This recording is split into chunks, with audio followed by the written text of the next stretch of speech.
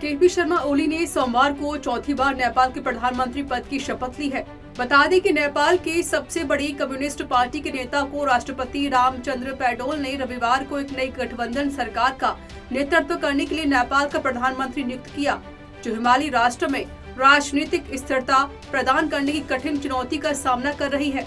वहीं पीएम मोदी ने भी केपी शर्मा ओली को नेपाल का प्रधानमंत्री नियुक्त होने पर बधाई दी। केपी शर्मा ओली संसद में सबसे बड़ी पार्टी नेपाली कांग्रेस के समर्थन से प्रधानमंत्री बनी है। ओली को राष्ट्रपति पोडेल ने राष्ट्रपति भवन के मुख्य भवन शीतल निवास में शपथ दिलाई। ओली को अब संवैधानिक आदेश के अनुसार नियुक्ति के 30 दिनों के भीतर संसद से विश्वास मत हासिल करना होगा। 275 सीटों वाली प्रतिनिधि सभा में ओली को न्यूनतम 138 वोटों की आवश्यकता होगी। कर्नाटक भाजपा नेताओं ने विधान सौधा की ओर मार्च किया। और कर्नाटक महर्षि वाल्मीकि अनुसूचित जनजाति विकास निगम में भ्रष्टाचार का आरोप लगाते हुए राज्य सरकार के खिलाफ विरोध प्रदर्शन किया। वहीं बीजेपी नेता सीटी रवि ने कहा, कांग्रेस ने महर्षि वाल्मीकि अनुसूचित जनजाति विकास निगम को लूट लिया है।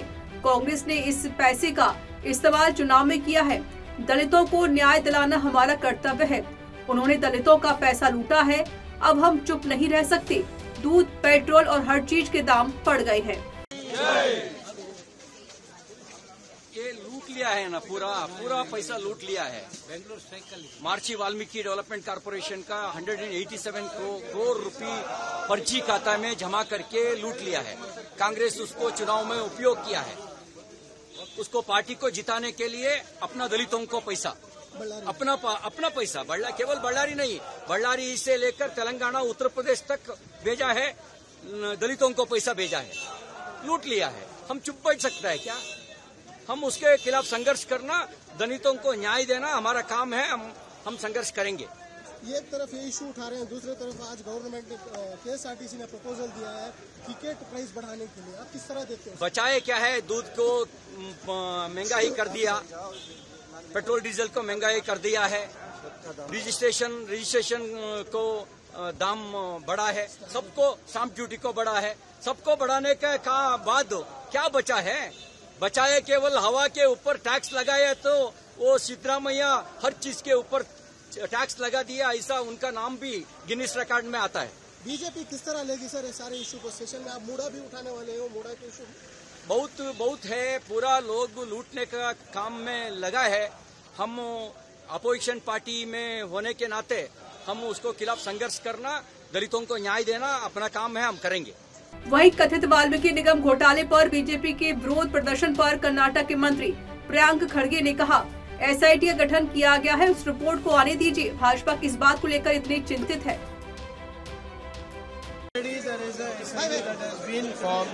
Let them do their inquiry. IT, ED, CBI, everybody is in work, right? Let them come out with their report. What are they so worried about? And recently it has also come to light that the previous BJP minister is the one who has instigated all this. Let all the investigation, uh, uh, whatever the uh, matter is, let it come to light first. So they are saying government is nowhere involved in any kind of matter. See, very clearly, the CM and the minister have told that the government is not there. Officials have mishandled this, uh, uh, these accounts and they're cooperating with the investigation. What is the problem with the BJP? I don't understand. We have found the single bench judge for the Muda issue as well. So whatever concerns the BJP has, let them raise it in the assembly with documents. If you are going to uh, cry horse in public, what is it? They are demanding for the CM resignation. Sorry? They are demanding for Let them demand resignation. Let them put the documents on, on the floor of the house and discuss it. Who's saying no? Who's who's saying no? We are not ready to discuss it.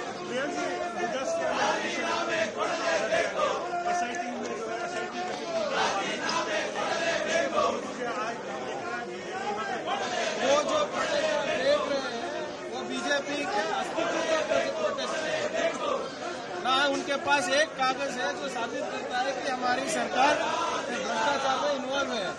ये जो जो भी है it's existential crisis that they are facing and to ensure that their voice is heard by media they are doing it let them सदन चल रहा है NRP assembly चल रहा है let them place all the documents on the on the है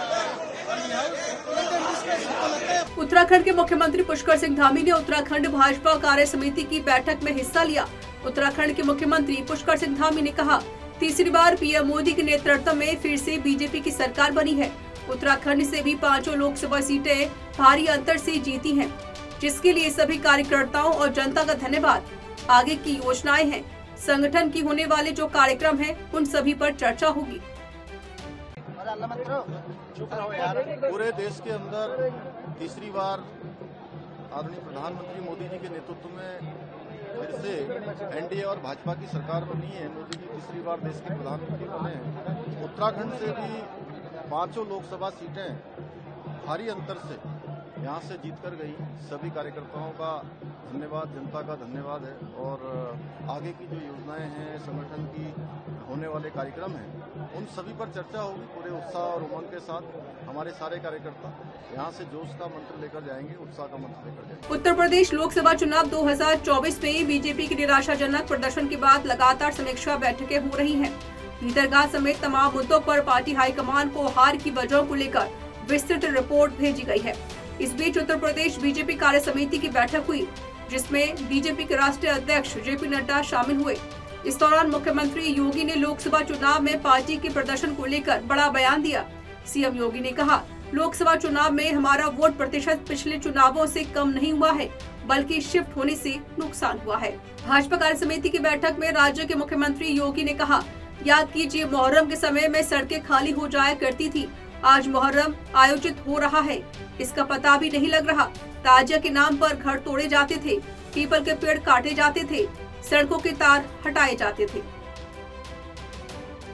वही CM Yogi ने कार्यकर्ताओं से कहा कि आप सभी के सहयोग से ही आज उत्तर प्रदेश को माफिया मुक्त करने में हमें सफलता प्राप्त हुई है। हम लोगों ने किसी के साथ भेदभाव नहीं किया है। वही सीएम योगी ने कहा कि 2027 का विधानसभा चुनाव भी बीजेपी जीतेगी। याद करिए, इसी मुहर्रम के समय में सड़कें खाली हो जाती थी, सूनी हो जाती थी। आज मुहर्रम आयोजित हो रहा है, इसका पता भी नहीं लग रहा है। ताजिया के नाम पर घर तोड़े जाते थे, पीपल के पेड़ काटे जाते थे, सड़कों के तार हटाए जाते थे, पुल तोड़ दिए जाते थे।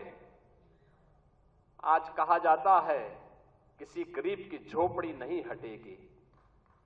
आज कहा जाता है, कोई तार नहीं हटेगा।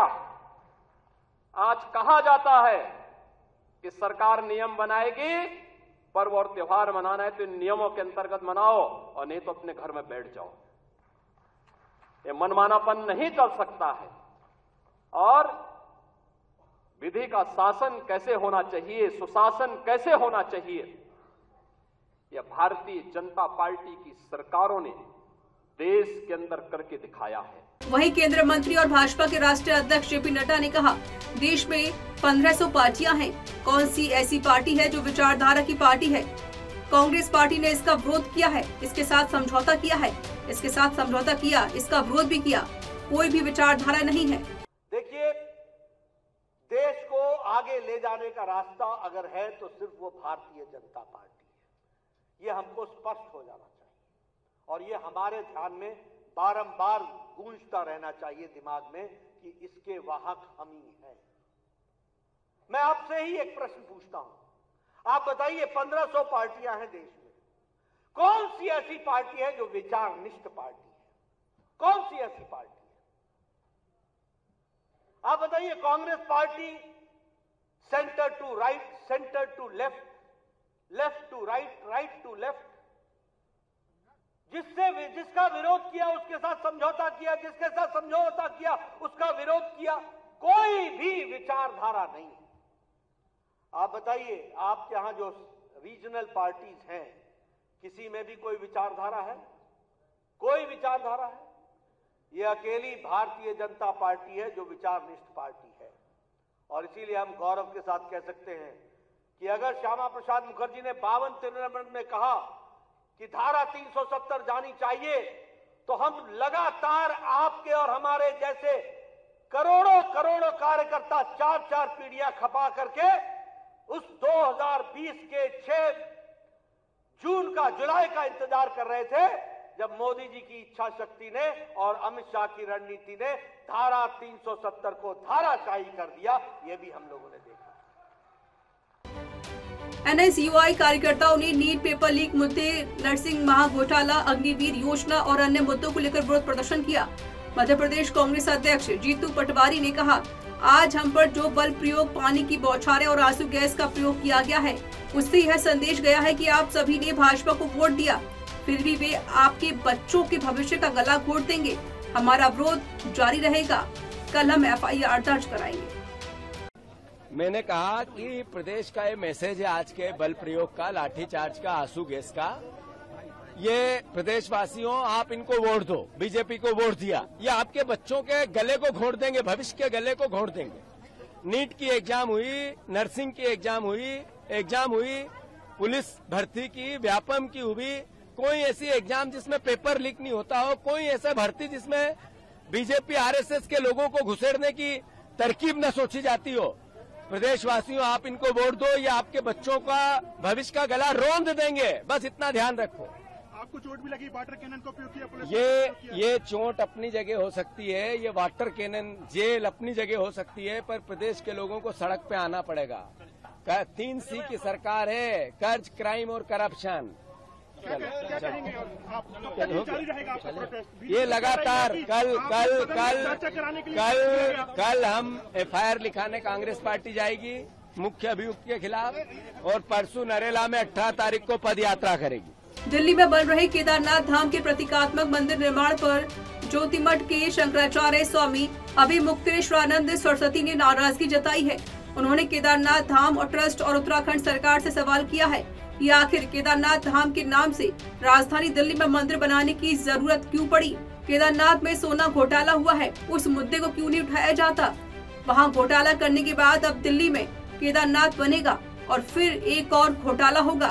केदारनाथ से 228 किलो सोना गायब है, कोई भी जाँच शुरू नहीं हुई है, इसके लिए कौन जिम्मेदार है? अब वे कह रहे हैं कि दिल्ली में केदारनाथ धाम बनाएँगे, ऐसा नहीं हो सकता। आप पत्रकार लोग क्यों नहीं उठाते हो? तो जब वहाँ पर घोटाला हो गया तो अब आप दिल्ली में केदारनाथ बना लोगे। वहाँ पर फिर दूसरा घोटाला करोगे। 228 किलो सोना केदारनाथ से गायब कर दिया गया। ये कहाँ का नियम है? क्यों नहीं उठाते हो प्रेस वाले इस बात को? आज तक कोई जाँच तक नहीं बैठाई गई। 228 किलो सोना का घोटाला केदारनाथ में हो गया। कौन जिम्मेदार है? क्यों इस बारे में जाँच नहीं होती है? क्यों भाई इस बारे में निर्णय नहीं होता है? और अब आप कहेंगे हम दिल्ली में ही केदारनाथ बना लेंगे? ये नहीं हो सकता। नरेंद्र मोदी जी से आपने कल मुलाकात की उनको आशीर्वाद दिया कल। हाँ वो हमारे पास आए थे उन्होंने प्रणाम किया हमारा नियम है। हम लोग आशीर्वाद देंगे जो आएगा उसको आशीर्वाद देते हैं। नरेंद्र मोदी जी हमारे दुश्मन थोड़े हैं। हम उनके हितैषी हैं। सदा उनके हित की बात कह रहते हैं। जब उनसे कोई गलती हो जाती है तो हम उसको उसको भी कहते हैं।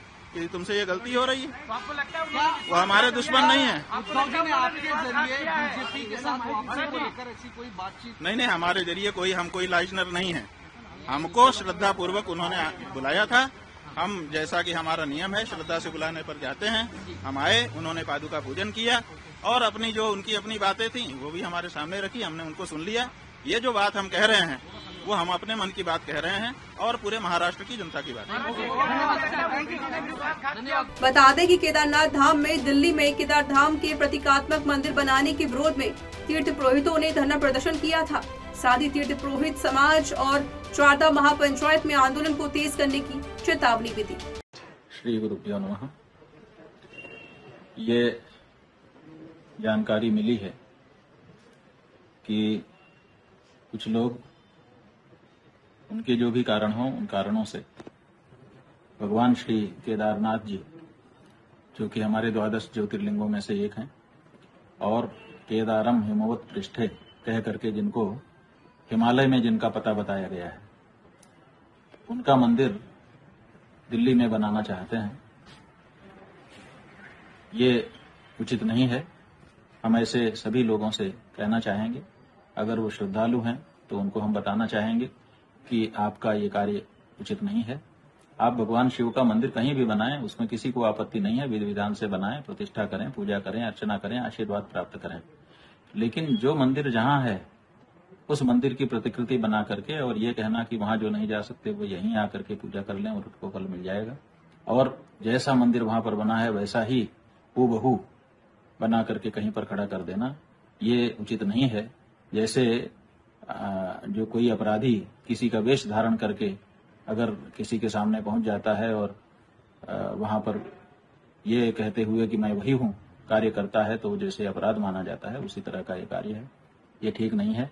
और शास्त्रों में, शिवपुराण आदि में, जहाँ पर यह बताया गया है कि केदारम हिमवत पृष्ठ है इसका मतलब केदार जो है, हिमालय के पृष्ठभाग में है। तो जो पता हिमालय का बताया गया है, अब वो पता दिल्ली का कैसे शास्त्र में हो जाएगा?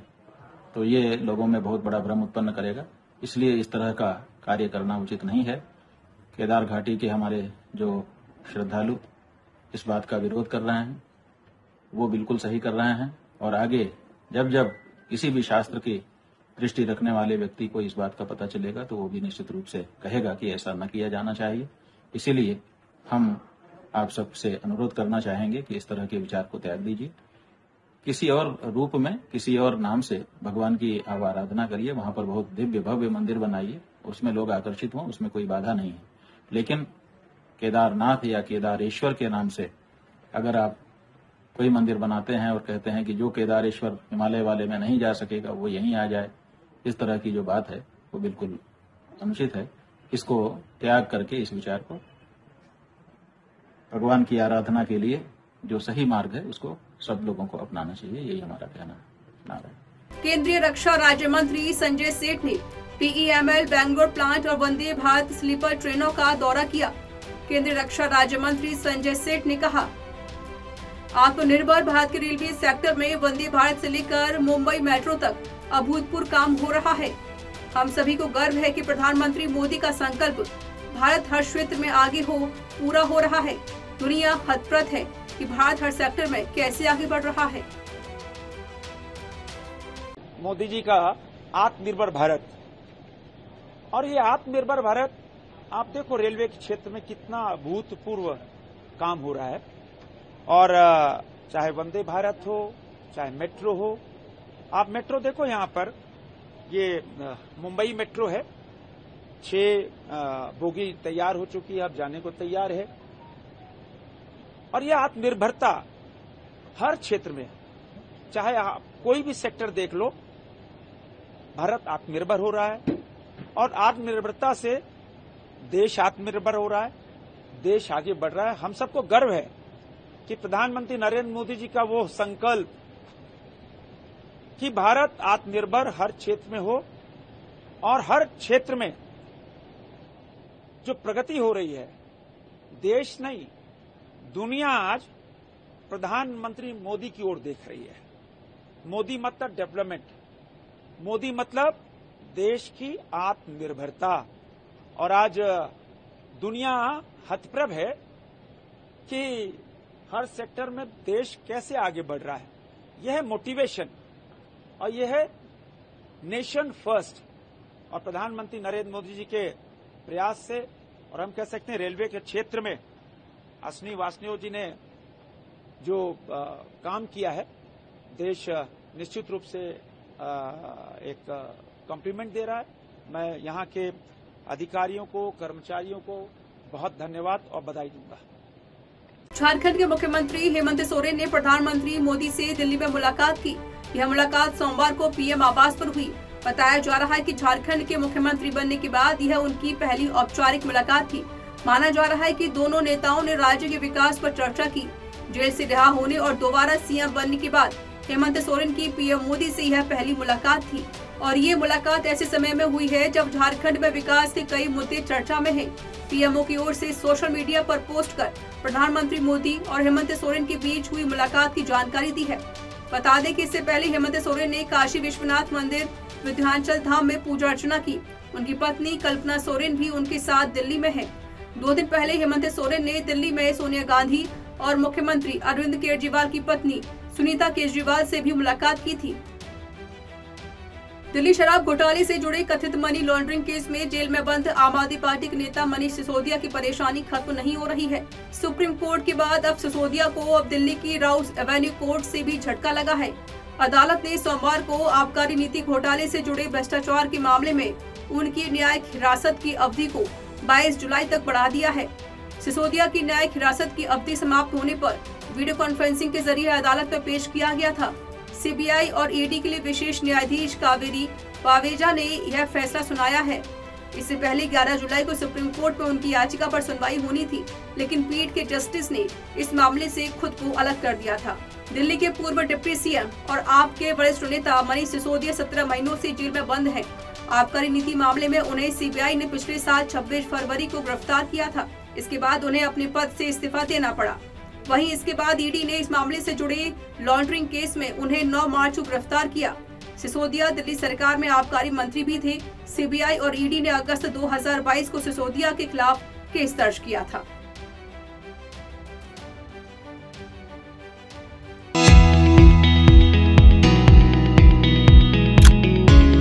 रितम मीडिया की नई ऐप आ गई है। जी हाँ देश की उभरती हुई बहुभाषी मल्टीमीडिया रितम ऐप का नया वर्जन लॉन्च कर दिया है। इस नए अपडेट के साथ मिलेंगे आपको ढेर सारे मज़ेदार फीचर्स जैसे ही आप ऐप खोलेंगे, आपको सबसे ताजी खबरों का सेक्शन लेटेस्ट न्यूज़ मिलेगा। इसमें आप देश, दुनिया की हर खबर पीआरएच और देख सकते हैं। साथ ही दिस डे इन हिस्ट्री में जानिए इतिहास की खास बातें। रितम मीडिया ने खास आपके लिए टीवी और वेब सीरीज़ सेक्शंस जोड़े हैं। अब देखिए अलग अलग न्यूज़ चैनल्स और मज़ेदार कहानियाँ। और हाँ सिटीजन जर्नलिज्म को बढ़ावा देने के लिए वीडियो सेक्शन भी है। यहाँ आप अपने इलाके की बातें सब तक पहुँचा सकते हैं। खासकर महिलाओं और युवाओं के लिए भी अलग अलग टैब्स हैं, जो उनकी पसंद और जरूरतों को ध्यान में रखकर बनाए गए हैं। तो अब इंतज़ार कैसा? फटाफट गूगल प्ले स्टोर या आईओएस पर जाइए और रितम ऐप डाउनलोड कीजिए। सबसे पहले पाइए अपडेटेड न्यूज़